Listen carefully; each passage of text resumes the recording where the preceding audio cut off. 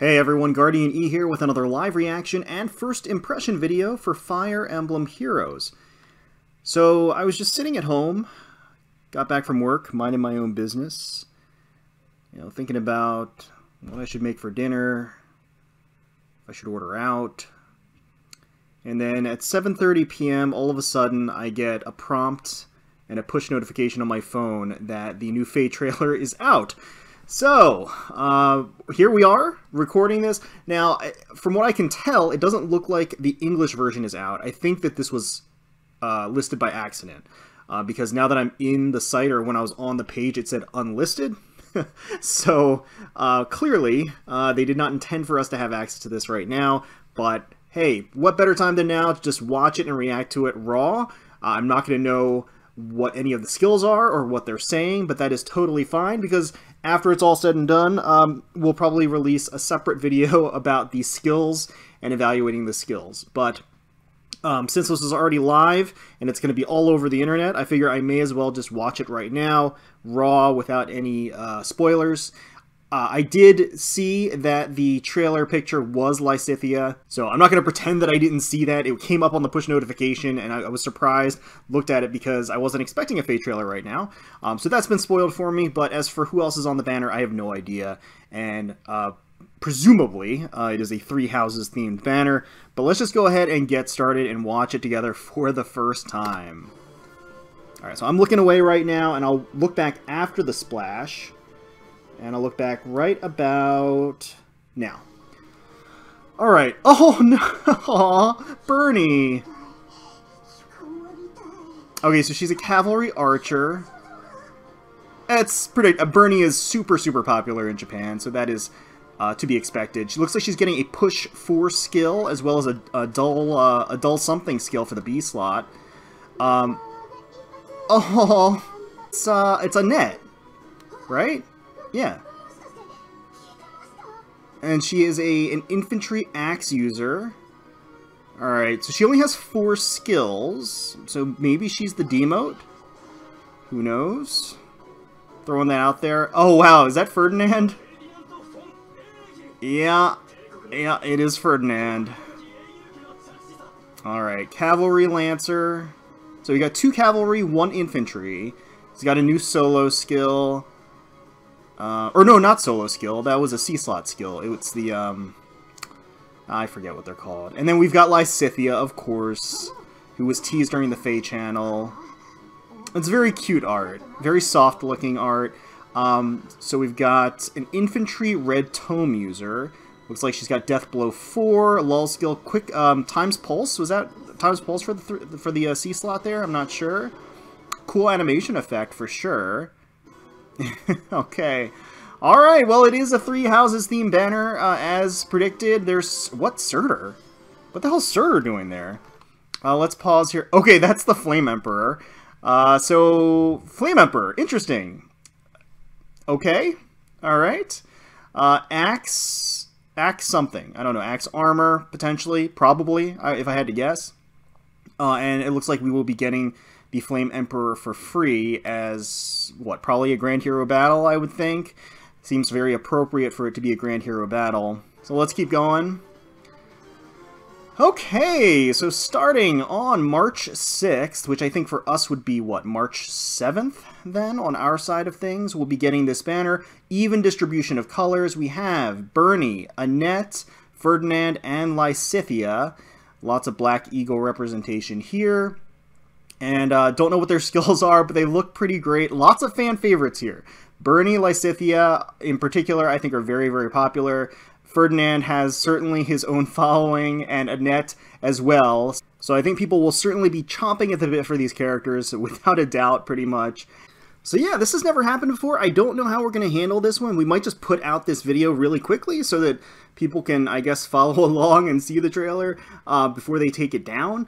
Uh, and then, I don't know, I guess we'll release maybe another video going over the skills. I feel like most people watch the reaction and then don't actually watch me ramble on about the skills, so I, I don't know. I don't know. Now, like I said, I can't really go back and take a look at the skills because I, I don't know what they are. I can try to interpret them, but that's just a waste of your time and my time, so definitely don't want to waste your time. I'm my time is whatever, but your time is valuable, uh, so I don't want to waste that. Um, but what I can do is take a closer look at the art, so maybe we do that, and then at the end we'll decide whether or not we do a separate video for the skills if people are interested in hearing me ramble about that. Uh, let's let's go back. Let's go back and take a, a look at. Um, let's take a quick look at Bernie here. she looks very, uh, very reluctant. I will say. Uh, they did a great job. She looks a little on the young side. I mean, she she always looks very kind of fretted, and um, she has kind of her signature tousled hair and and like spats look going. So, you know, it's Bernie. It's Bernie. We all know and love Bernie. Um, I, I suspect she'll have some really great voice lines. All right, and okay, we've got. Oh, she's singing. It's like the um, it's like the creepity creep song. I, I don't know if that's what she's saying in Japanese or not, but uh, if I had to interpret that, my, the official Guardian E translation is cre creepity creep.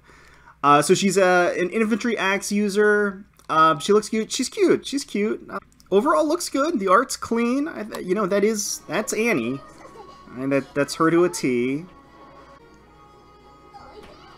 Uh, geez, that axe. That axe, though. Um, yeah, so it's it's like double the size of her. She's a tiny thing. But yeah, pretty standard art. Not like really, really super dynamic or anything, which is, I feel like a little bit of a, it's a little bit of a letdown. I, I think they could have gone a little bit crazier with the uh, the attacking art itself. There's Ferdinand. Yeah, yeah. Yeah, that that's his signature pose, and it's like uh, what like pictures you can hear. He's even though I don't understand Japanese, I can I can basically hear him talking about his lineage, which is uh, that's fine. The taking zero damage though. All right, see that's that's a little bit more dynamic. I do like that. He's he's kind of striking a pose. He's got a smile on his face too as he's going in on it. He's certainly more confident than Bernie or Annette, so it does make sense. Uh, don't want to take away from Bernie or Annette in that capacity. Alright, so here's Lysithea. The art is super, super familiar. I can't place the artist. I'm guess is it the same artist that did Legendary Tiki, maybe? And I can't remember who that is. Uh, it, it might not be. I might be misplacing it, but but regardless, there's a lot of I guess signature softness to the art style itself. There's a lot of like soft coloring, soft lighting soft line work, a lot of kind of fluff, like floof to the hair a little bit as it poofs out. So it kind of has that lightness to it, I suppose, if that makes any sense. Um, so yeah, no, she looks good. So here's her attacking art, very action posy. I do like it. Actually, looking at this now, it, it like reinforces to me that this is the same artist that did Halloween Noe. So I think I think we got it right. Uh, let's keep going, and we'll see this attack animation again. Beautiful. That's nice. Alright, and then like I said, we're going to get a new story chapter, which is very exciting, and Surtr is here for whatever reason. I don't know if this is supposed to be like a nightmare or something, and then, oh, I just noticed there's Helbindi too. So Helbindi, the true hero of Book 2, is here as well. I don't know if they're back for real or if this is just a dream, because obviously Book 4 is centered around dreams and nightmares, so who knows? We'll, we'll have to see. But would love to see Helbindi make a return, just because Helbindi is, uh, is awesome. And of course, as luck would have it, as soon as I finish recording and start closing things out, we get the English version of the banner that drops. So har harmony amid chaos is what we're looking for. Um, I'm just going to kind of skip through this just because we've seen these characters. Uh, we can sort of listen to their voice lines, I guess. Eternal Loner is Bernie. That's a very... I just want to hide in my room. Oh. Okay, right? Very cute. Alright, so let's take a look at her skills. So we've got Persecution Bow is a 14 might weapon, range 2, effective against flying foes, grants attack plus 3. At start of combat, if penalty is active on unit or unit's HP is less than 100%, grants attack speed plus 5 during combat. So it's an in-combat buff. If unit initiates combat, unit can make a follow-up attack before the foe can counterattack. I see. Okay. So Bernie essentially has a plus 5 to her offensive stats as long as she has some sort of debilitating effect on her. So if she's uh, if she is debuffed in some way or she is hurt in some way, then she'll get a plus attack speed uh, attack speed plus 5, which is very easy to accomplish. Um, so that's a, a, very easy condition, a very strong effect. If unit initiates combat, unit can make a follow-up attack. So it's also built-in desperation without an HP condition. All she has to do is uh, initiate on the foe. That is very strong. That is very strong. Uh, presumably, she's going to be pretty quick, and she's going to get a further speed boost when she is below 100% health. And I can already see that she has attack speed push 4, as we noted earlier just from the icon, which means after her first initiation, she is going to take some damage, which will meet the condition of Persecution Bow. So that is a strong effect. Ardent Sacrifice for the assist also further uh, up helps to trigger that condition uh, because that will essentially uh, sacrifice her own health and put her in the below 100% health category in order to meet that buff condition. Lull Speed Defense 3, the lull skills are awesome. Uh, inflicts speed defense minus 3 on foe and neutralizes foe's bonuses to speed and defense uh, during combat strong effect for her in particular since she wants to make sure she can double lull speed makes perfect sense defense lull also makes perfect sense just because that'll let her do more damage so it's perfect and for her the b slot isn't as important she doesn't need desperation in the b slot because she has it built into her bow so she doesn't have to worry about that which means she can take full advantage of the lull skills as well uh, close guard for the C slot. Allies within two spaces gain. Uh, yeah, no, we, we've seen that before. So uh, honestly, she's pretty strong. I mean, I don't know what her stat line is going to be. Naturally, a lot hinges on that, but it sounds like she's trying to get below H below uh, 100% HP to meet that condition, and then she's going to have a lot of offensive buffs, and then she's going to bank on doubling the enemy and having kind of built-in desperation. So yeah, Bernie is packing. I mean, all things considered, Bernie is definitely packing. I think her, her skills synergize very, very well together. Uh, Close Guard 3 is kind of an oddball choice. Um, she just kind of gives uh, sort of a passive buff to uh, to her allies um, against melee damage, which is which is fine. It's it's definitely a fine effect. But um, everything else kind of meshes very well with helping Persecution Bow do what it needs to do. So let's keep going.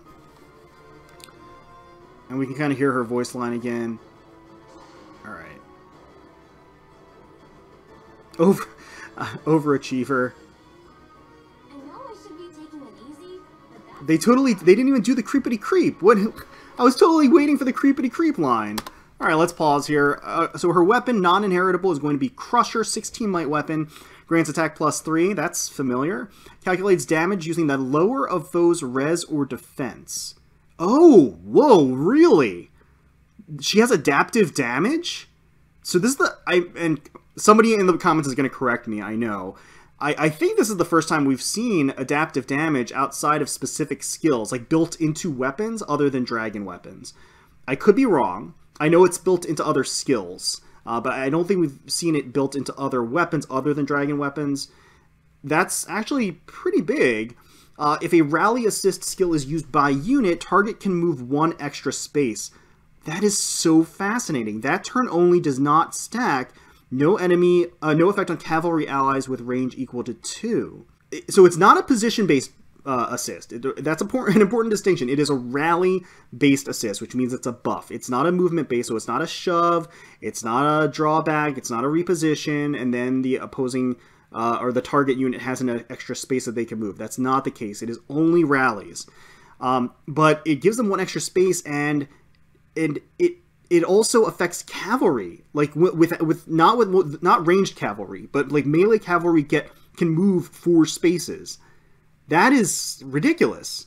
That is really strong, and I, I can already tell that Annie is going to be used for really, really stupid, stupid rally traps in Aether Raid defense. That That's clearly what's going to be the case, and frankly, that not even looking at her other skills, clearly that is what she is intended to do.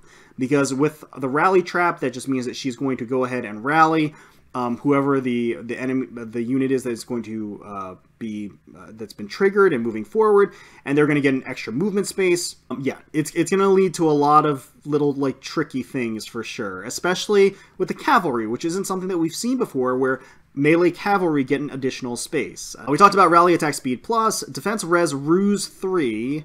Uh, again, in line with Crusher and the effect of having, when you're doing a rally assist on somebody, having that extra effect. The ruse skills work perfectly with her because, of course, if she's using the rally assist on a unit, um, or rather on a target, it inflicts defense res minus 5 and guard on foes in cardinal directions.